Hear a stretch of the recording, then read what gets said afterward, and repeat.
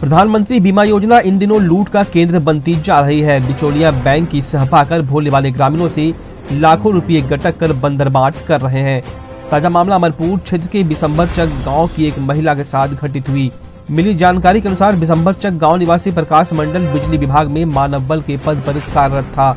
विगत 23 जून 2019 को प्रकाश मंडल की गढ़ेर गाँव में बिजली के खंभे में तार जोड़ने के दौरान करंट लगने से मौत हो गई थी। प्रकाश मंडल अपने बच्चों के उज्जवल भविष्य के लिए बैंक ऑफ़ इंडिया एवं ग्रामीण बैंक में प्रधानमंत्री जीवन ज्योति योजना एवं प्रधानमंत्री सुरक्षा बीमा योजना के तहत बीमा करवाया था।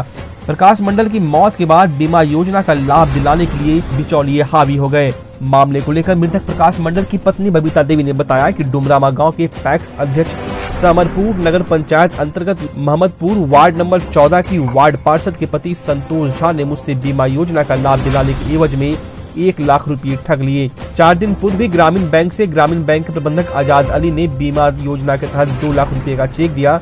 संतोष झा ने मुझसे धोखे से बैंक पासबुक ले लिया और पासबुक वापस करने की एवज में पचास हज़ार रूपए की मांग करने लगा। जब मैंने पैसे देने से मना किया तो संतोष झा धमकी देते हुए कहा कि पैसा बैंक मैनेजर को देना है। अगर पैसा नहीं दोगी तो वाला पासबुक वापस नहीं करेंगे और बीमा का सारा पैसा वापस हो जाएगा। महिला ने बताया कि संतोष झा की धमकी से हम घबरा गए और बैंक से पचास हज़ार रूपए की निकासी कर संतोष झा को दे दिया। महिला ने बताया कि अगले माह मेरी पुत्री का विवाह है। आर्थिक तंगी रहने के कारण महाजनों से दस रुपया सैकड़ा पर सूद लेकर पैसा लेने पर मजबूर होना पड़ रहा है। अब सवाल यह उठता है कि आखिर कैसे बिचौलिया बैंक में प्रवेश करते हैं?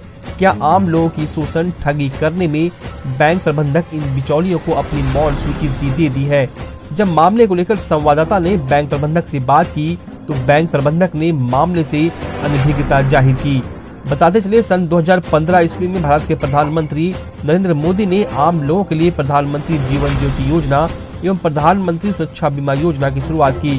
प्रधानमंत्री जीवन ज्योति योजना के तहत 18 से 50 वर्ष के लोग बीमा करा सकते हैं, जिसके लिए वर्ष में एक बार तीन सौ लगता है। इस योजना के तहत लाभुक की मौत होने पर मृतक के परिजनों को बीमा कंपनी की ओर से दो लाख रुपए का रकम दिया जाता है, जबकि प्रधानमंत्री सुरक्षा बीमा योजना के तहत 18 से वर्ष के लोग वर्ष में एक बार बारह रुपए देकर बीमा का लाभ ले सकते हैं। इस योजना के तहत लाभुक की मौत होने पर दो लाख रुपए की राशि दी जाती है।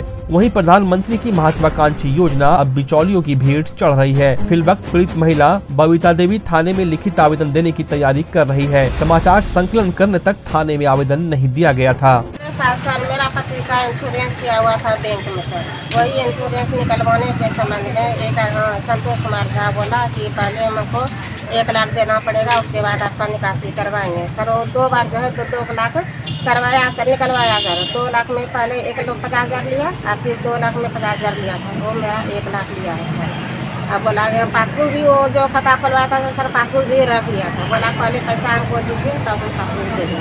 पैसा निकाल के, सर, उसको पचास हज़ार पहले दिए, तब वो पासबुक हमको दिए, सर। फिर वो घर पे भी आया दोबारा जब मीडिया कर्मी को पता हाँ चला सर तो? दोबारा घर पे आया बोला कि बोल दीजिएगा पैसा हमको एक लाख दे दिया।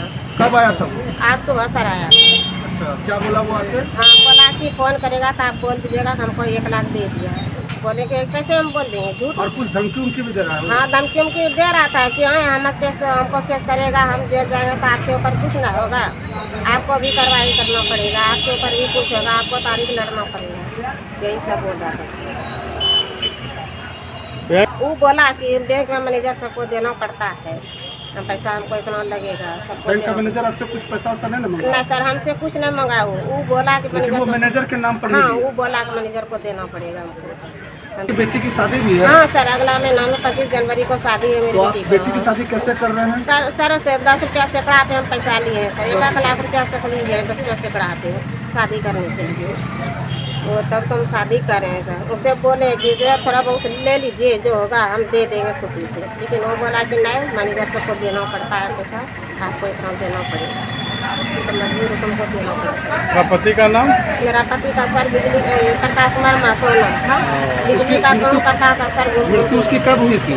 मृत्यु सर तेईस छः उन्नीस को हुआ है गड़ेल में पोल पे काले 23 छः उन्नीस? उन्नीस हाँ। कौन पद पे थे गड़ेल गड़ेल में? ना ना बिजली विभाग में कौन पद पे पद पे सर ऐसे है सर मिस्त्री का काम काम कर रहा था सर? माना हाँ मोना बल के पद में। और पोल मेरा नाम बता देवी है।